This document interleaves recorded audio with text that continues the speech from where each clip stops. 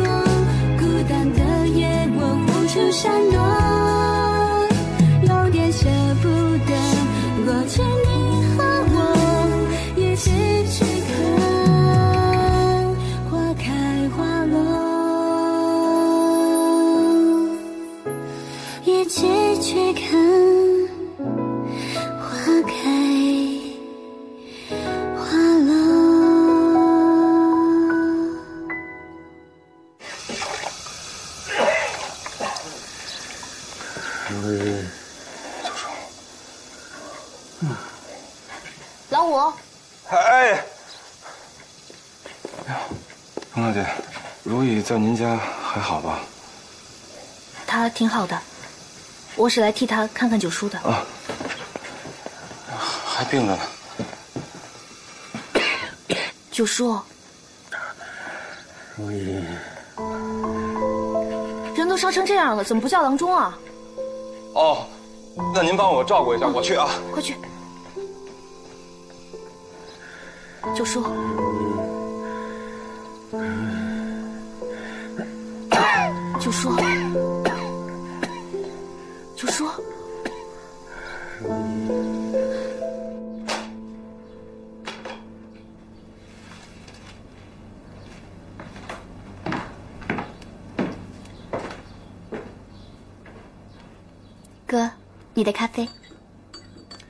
子，你真不愧是经济学的高材生，西楚计划做得非常好。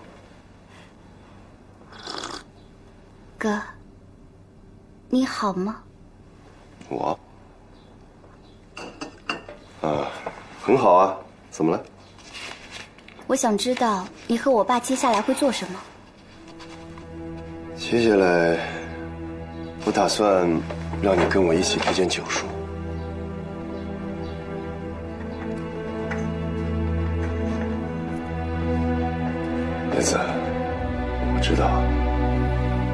如意的事情你一直在怪我，但是请你相信，算了，多了我不想解释。但是如意会在童家受一段时间的苦，在这段时间里，我会尽心竭力的照顾九叔，就算是对如意的一种补偿吧。我都知道了。如意不嫁，是犹豫在棋局之外；她嫁了，就是彻底的纠结在谭童两家之间了。她仍然是你们最好的棋子，对吗？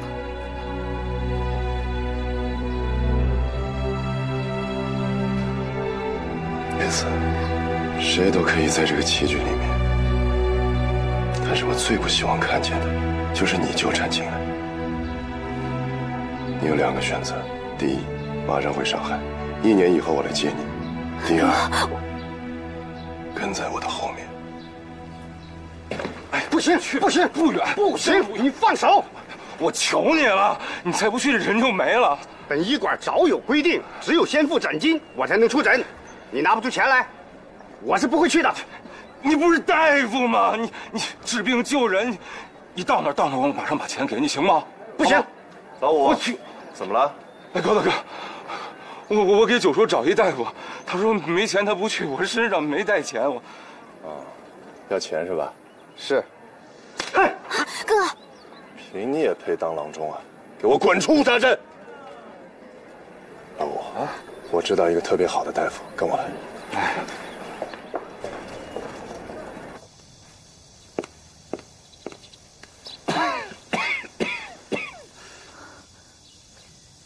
老五，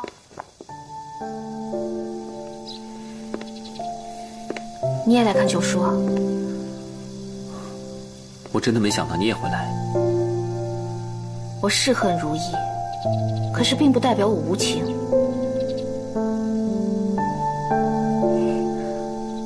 况且九叔一直对我很好，他生病了，挺可怜的。如果你真的很如意，你就不会来了。别说这些了，谢谢你。替他吗？他说过了。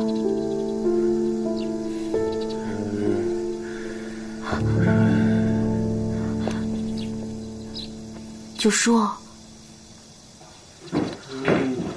明凯，对，医生我带来了。好，请。病人就是他。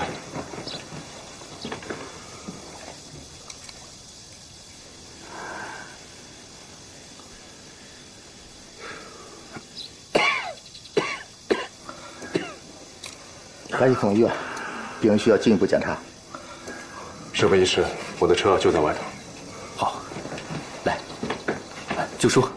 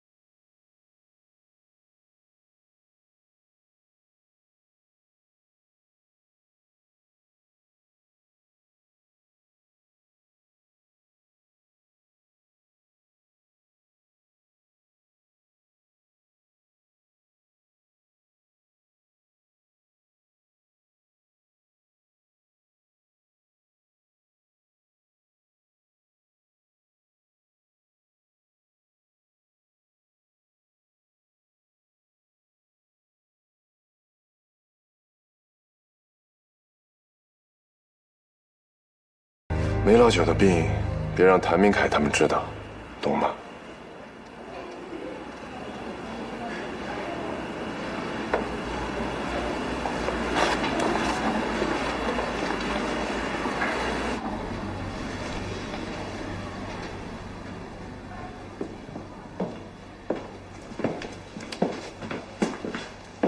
医生怎么说？没事，医生说只要定时吃药，很快就能出院了。今天多亏了你们都在，我谢谢大家。哎九叔已经退烧了，老五，麻烦你照顾九叔，我得走了。哎，童小姐，谢谢你能这么照顾九叔。我我求你也照顾一下如意。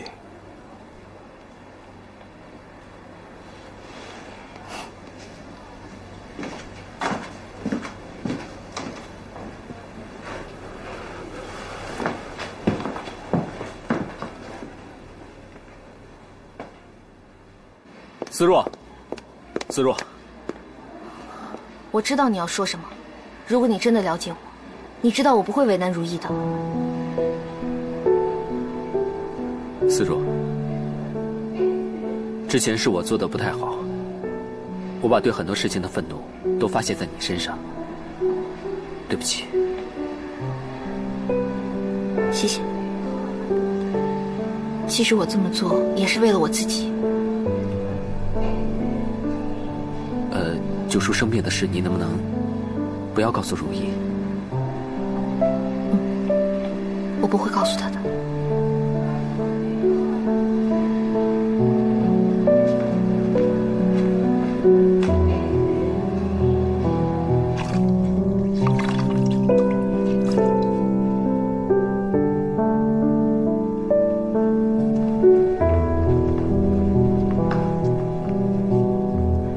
我来吧。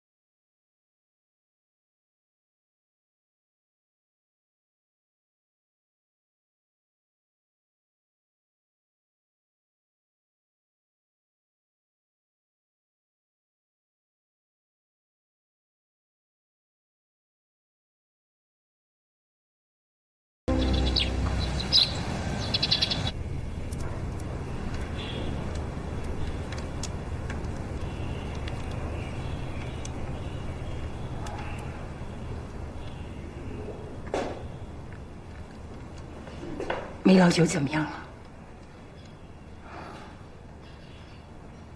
他生病了，现在在医院。儿女顺，父母顺；儿女不顺，父母也跟着揪心揪肺呀。云霞，去叫大富到账上支些钱去给梅老九，毕竟他也是咱们的老工人。是因为如意嫁人了，你觉得安全了，所以终于肯施舍你的善良了。你能别这么跟你妈说话吗？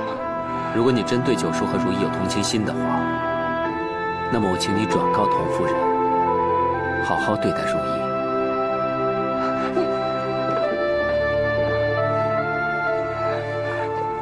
他这是打从心里怨恨我，这恨什么时候才是个头啊？你给他点时间，可思若等得起吗？谭家等得起吗？得找个人帮他转过这个弯才行。啊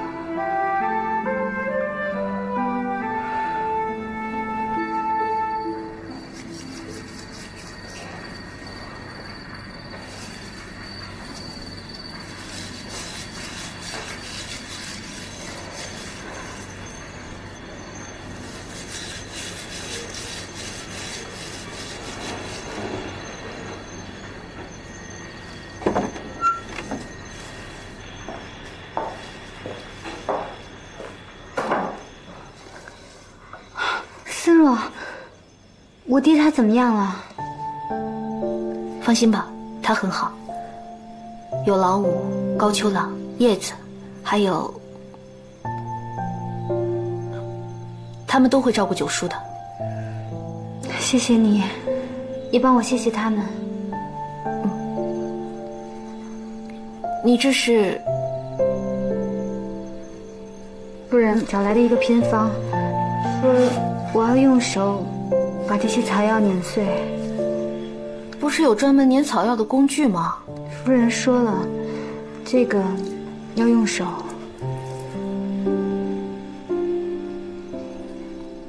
我娘一定会百般的刁难你，你受得住吗？其实，每次想到我爹对我的疼爱之情，我就可以理解夫人的心情了。这点苦不算什么的。如意，其实还有一个人在照顾九叔。他思若，我现在唯一想做的事情，就是照顾好你哥。时间也不早了，你早点回去休息吧。我还要把这些弄完呢。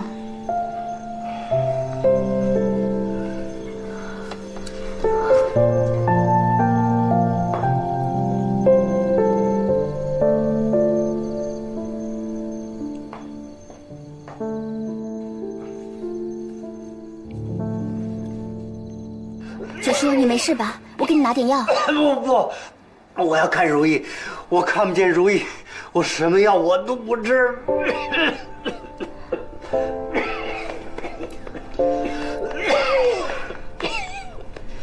明凯，要不然我去找思若说说，带九叔去看看如意吧。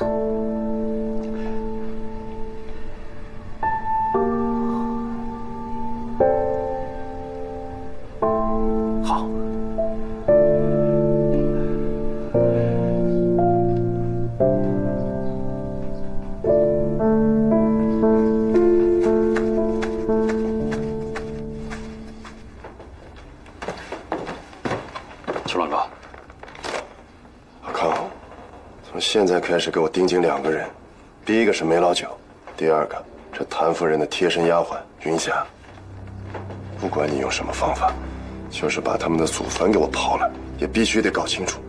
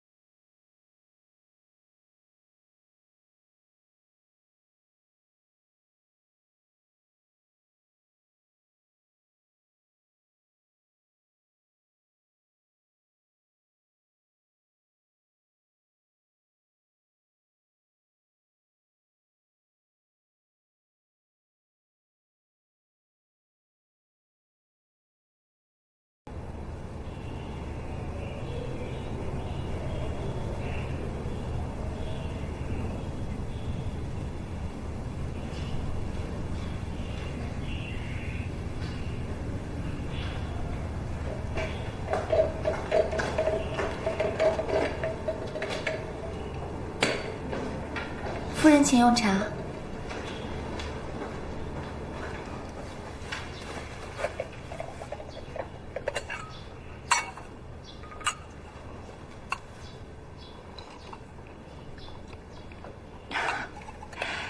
谭家的上等春茶，可见我儿子和这个高秋郎还真是交了心呢。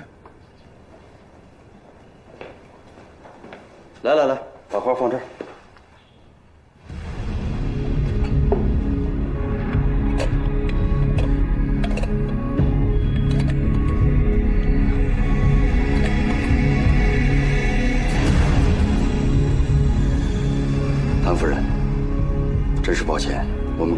现在正忙，请您稍等片刻。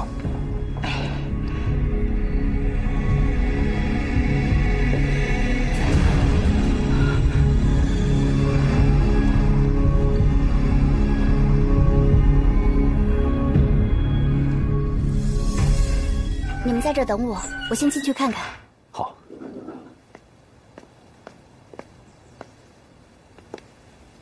带我去见你们家小姐。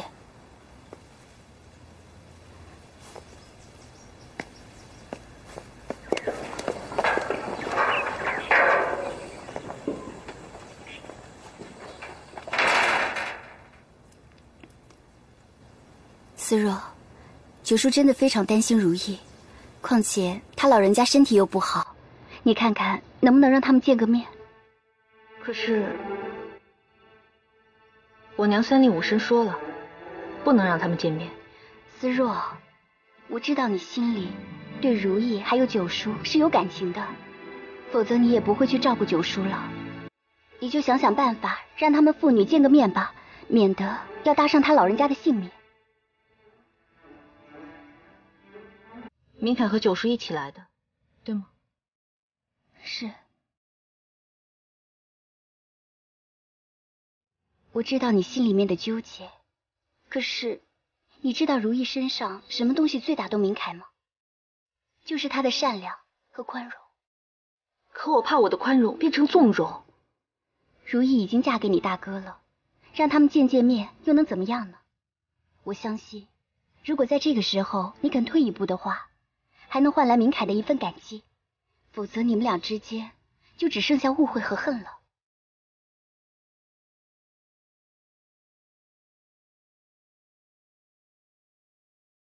我娘出去了，时间不能太长，你让他们进来吧。谢谢你，思若。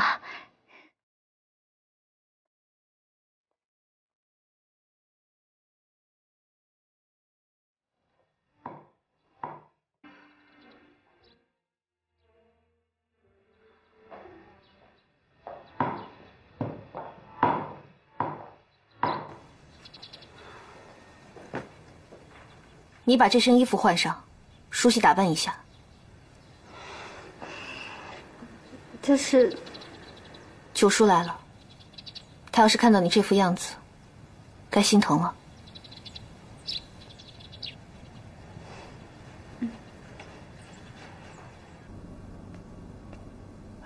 九叔，先坐下来休息吧。九叔，你别着急，一会儿如意就来了。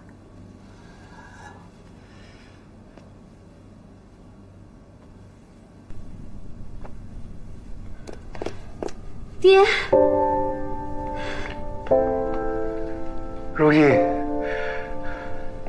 如意，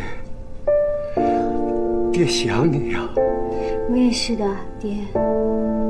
如意，你还好吗？我很好，夫人还有思若对我都很好。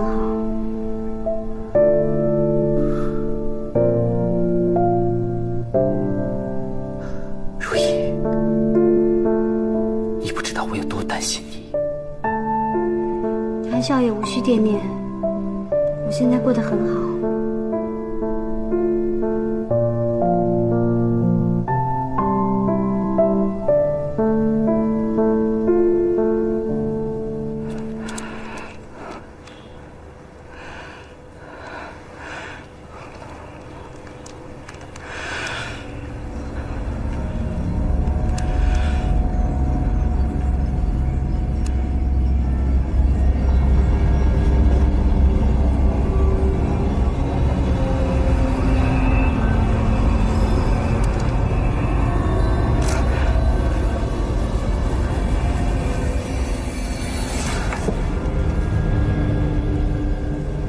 是巧合。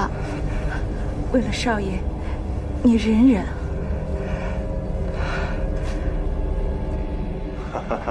对不起，对不起，夫人，让您久等了，请恕罪。请坐吧。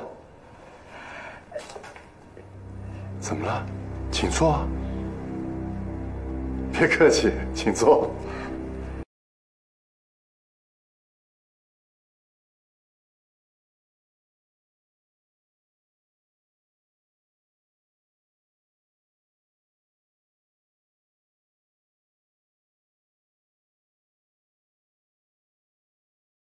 生意兴隆，真是可喜可贺。夫人，在您的面前，我怎么敢自称老板呢？您叫我秋朗吧。今天到舍下有什么指教吗？我来是为了明凯。明凯怎么了？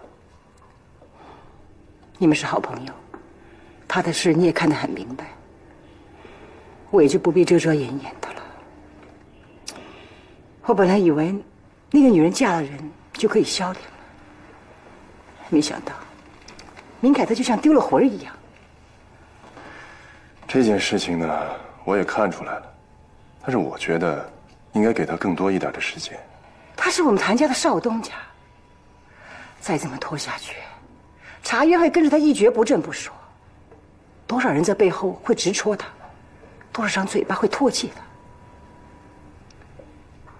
夫人，您肯跟我说这些？我很意外，但是非常欣慰。是啊，俗话说家丑不外扬，可我实在拿他没办法。我对明凯是骂也骂了，求也求了，我现在只能来请你帮忙了。不不不，夫人，您言重了，有什么要求尽管说。我希望你能劝劝他，帮他振作起来。明凯和你是交心的知己，他把你当兄弟，我也就不把你当外人。你就是我们谭家的孩子，你一定要拉这个兄弟一把。既然您把我当做谭家的孩子，我也向您保证，我会尽心竭力的帮助明凯。有你这句话，我就放心了。你一定要劝他。尽快把所有的精力放在茶园里，茶园经不起拖。他只有振作起来，茶园才能重振旗鼓。重振旗鼓？怎么，茶园遇到困境了？怨不得你年纪轻轻的就能有如此成就，你还真是敏锐。实不相瞒。自从我们老爷去世以后，我们茶园就面临着老主顾的流失，还有资金的周转问题。这算什么问题呀？资金根本就不是问题，只要您需要，我们聚顺兴可以随时和谭家联合。不，谭家不需要联合，谭家需要的是联姻。啊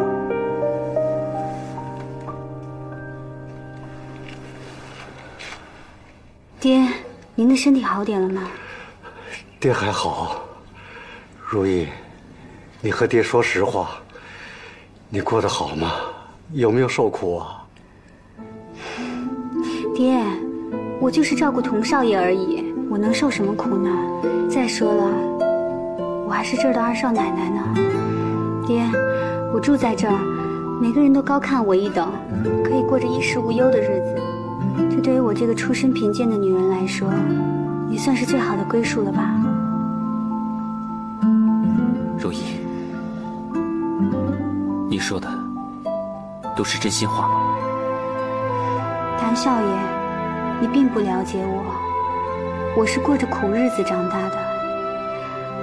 其实我都后悔没早点嫁给童少爷，这样既能改善我自己的生活。也能让爹过上好日子。我今天跟你说的每一句话都是我的真心话。我会死心塌地的守住我丈夫。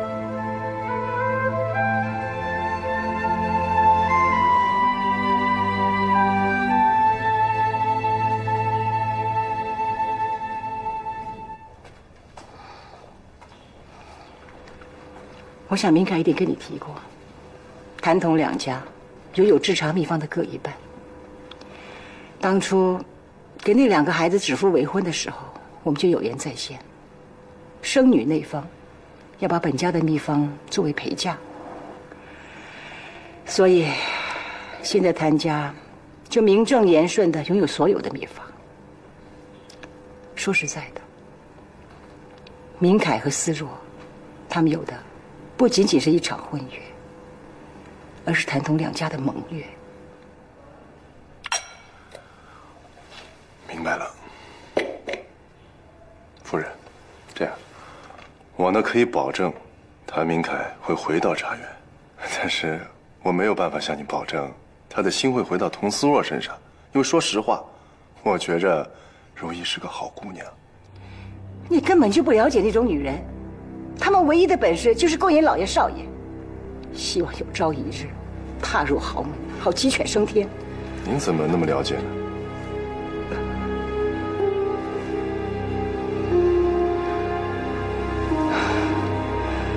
夫人，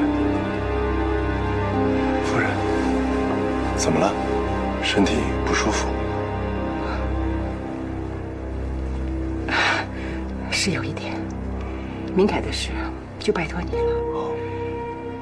我先告辞。对不起，夫人，是不是刚才我提到如意，惹您生气了？你喜欢黄玫瑰？啊，我的未婚妻叶子也喜欢黄玫瑰。怎么，您也喜欢？不，我讨厌黄玫瑰。哎呀，真是可惜，这么美的花儿，您为什么不喜欢呢？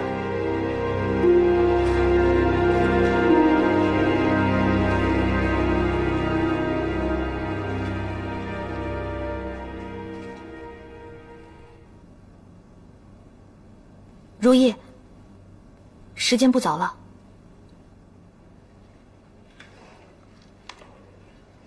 时间不早了，爹，你们也该回去了。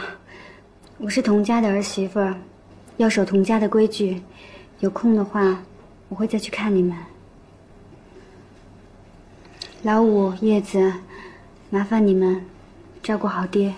如意，你就放心吧，你不说我也会这么做的。你自己照顾好自己啊。如意，童家的规矩你不知道吗？娘。爹只是想我了，来看看我。看看你，我还希望耀东睁开眼睛看我一眼呢。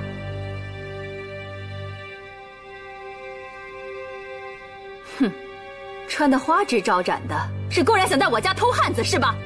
娘，九叔来了，如意穿的好点也是童家的体面。你闭嘴！他也配？如意自打嫁过来，一直没回过门我挂念她，来看看她。亲家太太，您息怒。谁是你亲家？你真以为她嫁过来就来当我们家少奶奶呀？童夫人，您的心情我能理解，但是您这样折磨如意，也改变不了什么。为什么就不能好好的善待他呢？哼，这谭少爷真是个大善人呐。既然谭少爷今天替你说话，那我就善待你一次。你知道该怎么做。是。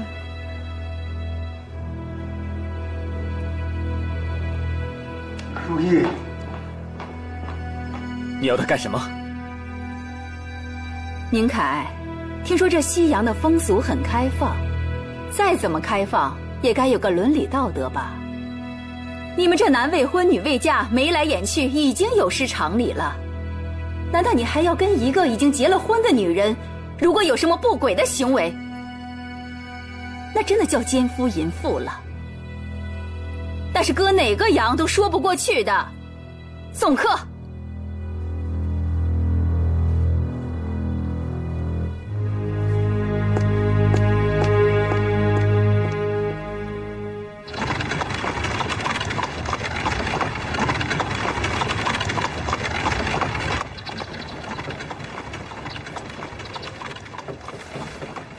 夫人，我们现在回家吗？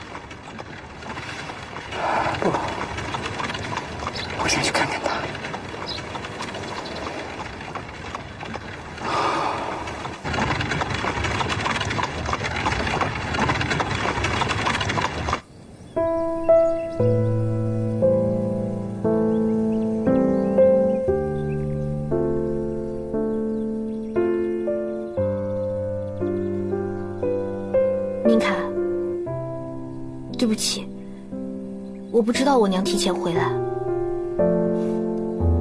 你没必要说对不起。如意差点把所有人都骗了，是你妈的态度暴露了一切。思若，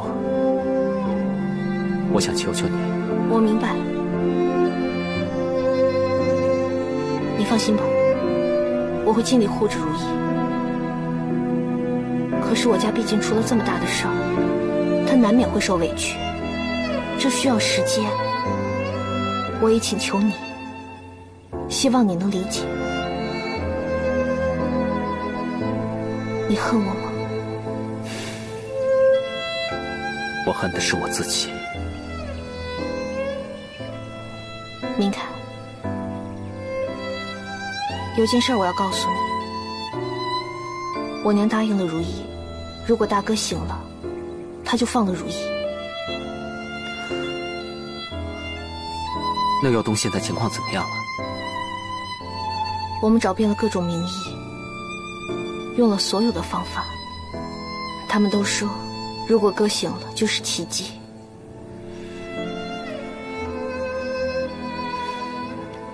我相信奇迹。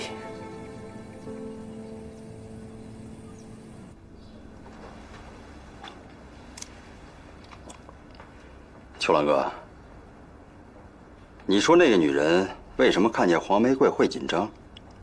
不是紧张，是害怕，怕到骨子里头。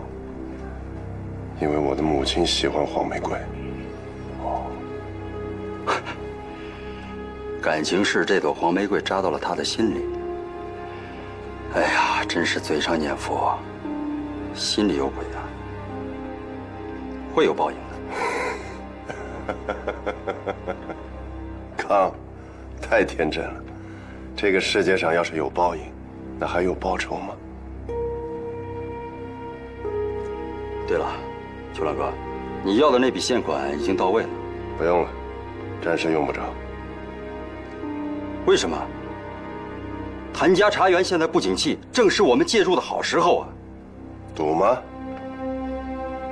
谭夫人是一个宁可肉烂在锅里，也不愿意让别人喝口汤的主，因此他不可能让我们的钱介入谭家茶园。照你所说，我们想介入谭家茶园，比想象中的更难。大小姐回来了。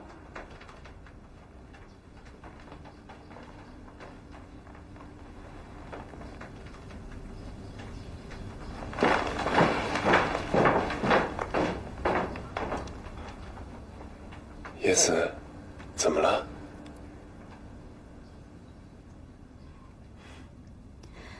九叔闹着出院，他非要去童家看看如意。我心里看着难受，就和谭明凯带着他和老五去了童家。谁知道，正好和童夫人撞个正着。童夫人炸了吧？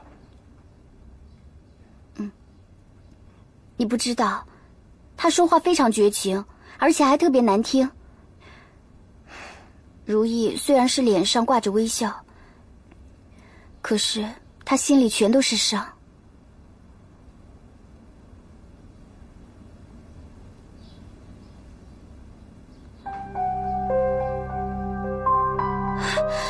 你还笑得出来？难道你就不觉得愧疚吗？愧疚？今天会有人比我更愧疚、更痛苦的。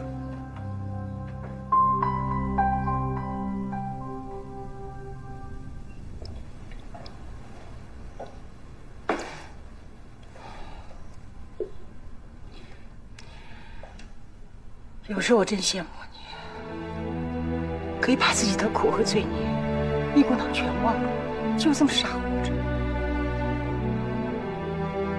你可以抱个枕头，当成自己的儿子。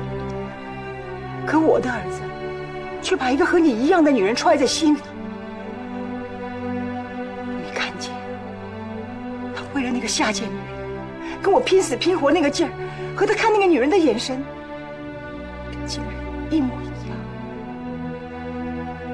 这辈子就摆脱不了你们这样的女人？难道我们谭家的男人都得要有这样的宿命吗？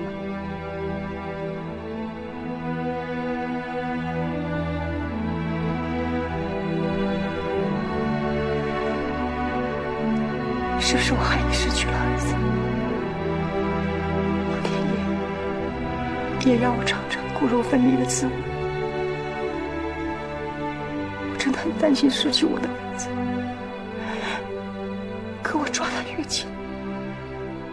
心就离我越远。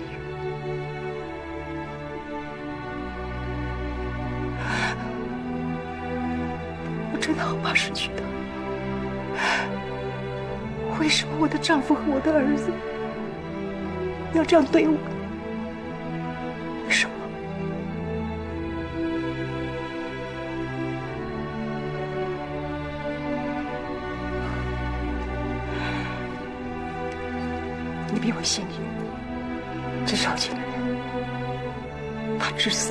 爱着你。哭。如果你和高江那个儿子还活着，大概也和我们家明凯差不多大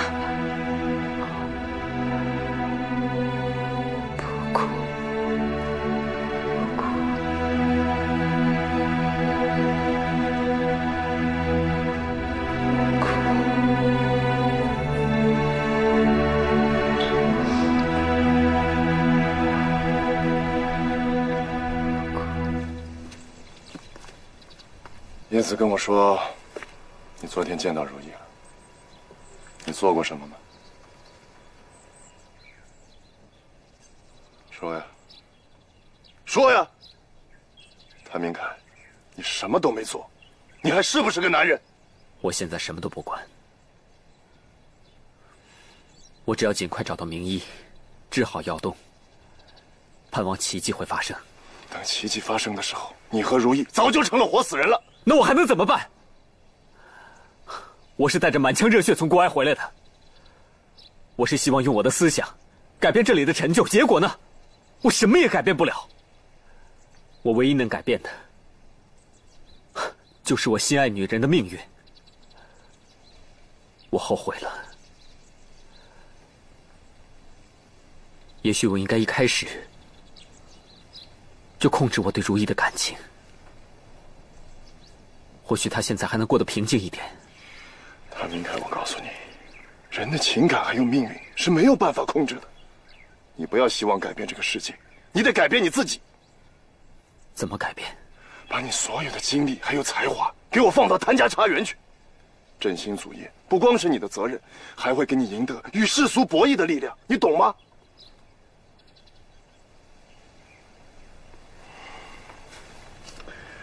明凯。我的话可能有点重，听不听在你。但是你记住，想救如意，先救你自己。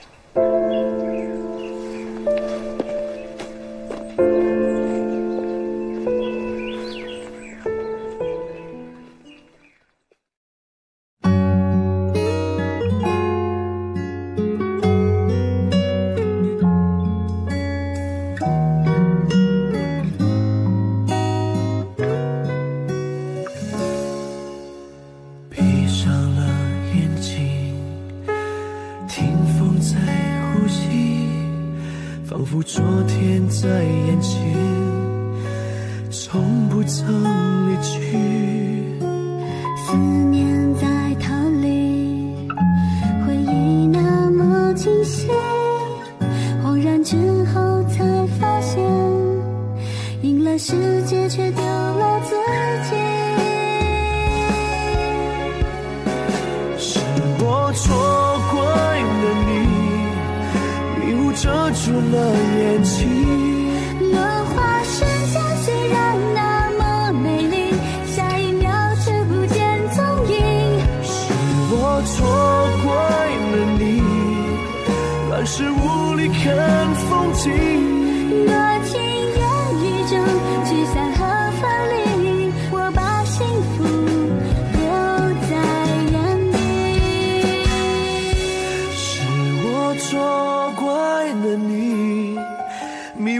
遮住了眼睛落花山前虽然难